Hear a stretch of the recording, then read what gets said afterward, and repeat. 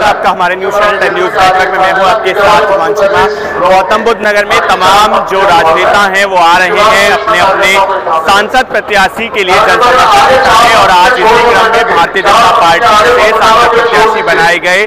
Doctor Mahesh Sharma के लिए जनसमर्थन जुटाने आज राजनाथ सिंह जी जो हैं, वो यहाँ आ रहे हैं, केंद्रीय मंत्री राजनाथ सिंह आ रहे हैं। क्या कुछ लगता है कि उनके आने से किस तरीके का जो फ़र्क है, वो पड़ेगा? नाम क्या है आपका? कहाँ से आए मुकेश शर्मा मैं ग्रेटर नोएडा से हूँ। आज कल जो भारतीय जनता पार्टी की जो योजनाएँ चल रही हैं वो आम जनमानस के बहुत हित में हैं। और इस बार भारतीय जनता पार्टी के जो प्रत्याशी हैं डॉक्टर महेश शर्मा जी कम से कम 10 लाख वोटों से जीतेंगे। तो आज इनके आने से क्या कुछ फ़ायदा होने वाला है? हाँ बिल्कुल बहुत बड़ा फ़ायदा होने वाला है। माननीय राजनाथ जी के एक बहुत लोकप्रिय नेता हैं। और जो वो अपील करेंगे यहाँ के यहाँ ठाकुरों की जो चौरासी जो है वो पूरी तरह से भाजपा के पक्ष में है और उससे और ज़्यादा प्रभाव पड़ेगा।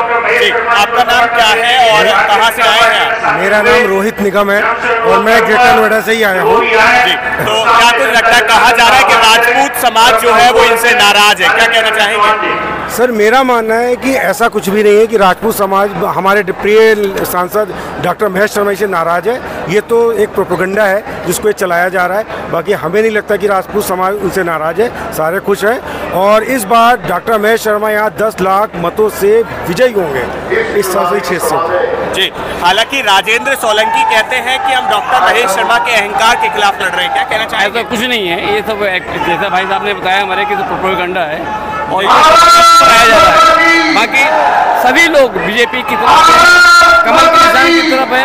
और ये जो 400 पार का नारा मोदी जी ने दिया है ये निश्चित 400 पार चार सौ सात सीटें आएँगी। डॉक्टर महेंद्र नागर और राजेंद्र सोलंकी जी। ये कुछ भी नहीं है ये कुछ भी नहीं है कहीं दिखेगा नहीं है। किसी भी किसी भी उसमें नहीं है। कहीं पर भी नहीं आने वाले। की बार 400 पार, कोई रोक नहीं सकता। चार सौ, मेरा नाम रमेश चंद गुप्ता है। मैं ग्रेटर नोएडा से हूँ। अब आपके बाद मोदी 400 पार हर हाल में होंगे, क्योंकि उनकी जो प्रयास है, जो समाज के साथ जो किया है, जो देश के लिए किया है, ऐसा शायद ही कोई मंत्री ने आज तक किया हो। इसलिए हम चाहते हैं मोदी जी आए, दोबारा आए। और महेश जी, बहुत अच्छे वोटर्स जीतेंगे। धन्यवाद। कम से कम 10 लाख वोटों से।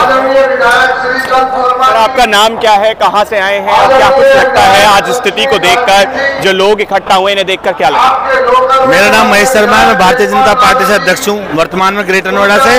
और स्थिति बहुत अच्छी है। डॉक्टर महेश शर्मा भारत की पहली या दूसरी जीत में से एक जीत होगी।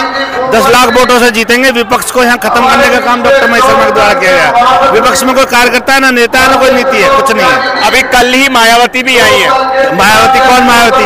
लोग पूछते हैं कौन है मायावती? कोई नहीं है। उनका एक कैंडिडेट नहीं जीतने वाला पूरे उत्तर प्रदेश में। और अखिलेश यादव? अखिलेश यादव की बात तो तुम्हें पता गुंडागर्दी के अलावा कुछ है नहीं। खत्म कहानी खत्म। कह रहा है कि जो पहले चुनावों की हवा थी वो कुछ और बता रही है। विपक्ष का काम खाली यही है हवा हवा कम हवा ज़्यादा उनके पास ना कार्यकर्ता है ना नीति है ना राजनीति कुछ नहीं है। जी जी। कुछ भी नहीं है भारतीय जनता पार्टी इस बार 400 पार कर रही है और डॉक्टर महेश शर्मा भारत की लगा तीसरी पहली दूसरी तीसरी विजय में से होगी दस लाख से जीतेंगे। बातचीत करने के लिए। आप देखती क्या कुछ रहा है कमेंट सेक्शन में लिखते रहिए।